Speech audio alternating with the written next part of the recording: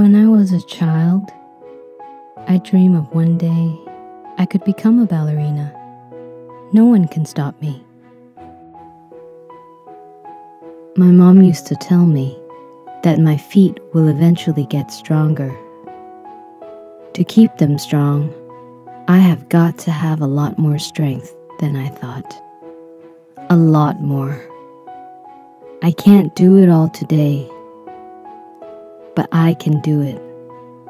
Every person is different, just need to learn these things. And when I make mistakes, I just learn from it.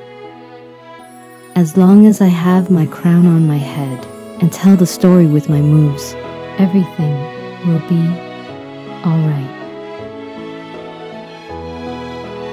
Dance is life to many people like me.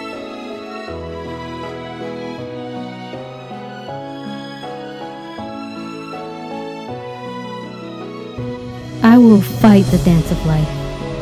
I will not ignore the things that burnt into me. I will not destroy what I have worked my life for.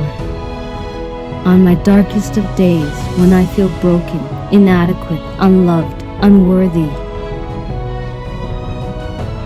I will remember whose daughter I am. And I straighten my crown.